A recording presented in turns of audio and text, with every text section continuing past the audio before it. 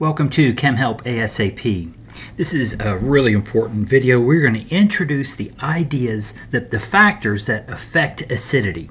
The goal of this video is not for you to understand all these factors, it's simply for you to be, be exposed to them, to, to recognize them. The understanding will come later, but for right now, let's talk about different factors that influence acidity.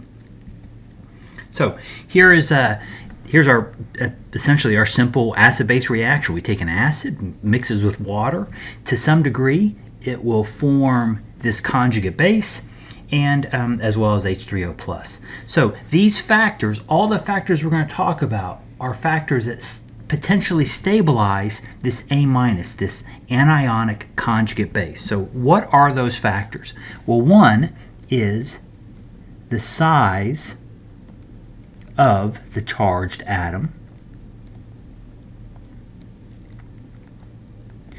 Putting the charge on a, on a larger atom results in a more diffuse charge, and that results in a more stable anion. So that's one factor, the size of the charged atom.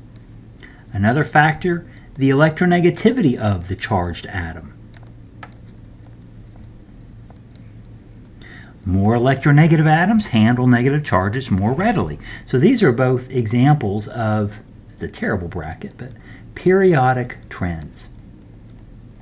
Periodic table trends. An another factor is something called the inductive effect.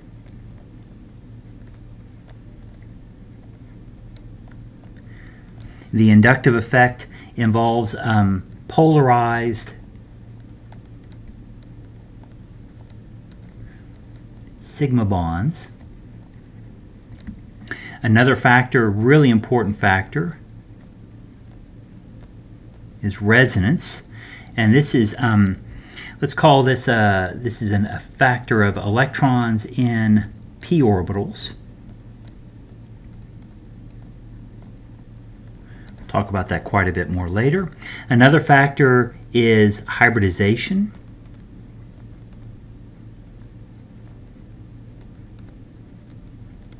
Let's get dots on those eyes. They're not reading on my pen. And then finally, another one, which is hyperconjugation. And we actually see this more with, with cations than anions.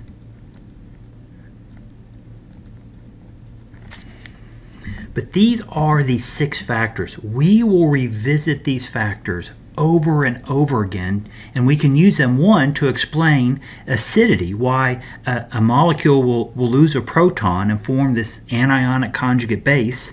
Um, these factors are great for explaining that. They're also fantastic for explaining why we formed other types of charged intermediates, and that's actually where we'll talk about it most. So these six factors are super important. We'll become very comfortable with them, and I think the good news of this is if we understand these six factors, we can explain a whole lot of chemistry. Right now, we're going to focus on how they apply to acid and base chemistry, but the fact is, these six simple ideas apply to almost all the organic chemistry that we're going to encounter. So, take comfort. Six factors. Right now, we only need to recognize what they are, but later we'll learn how to apply them and use them uh, within the context of a particular reaction.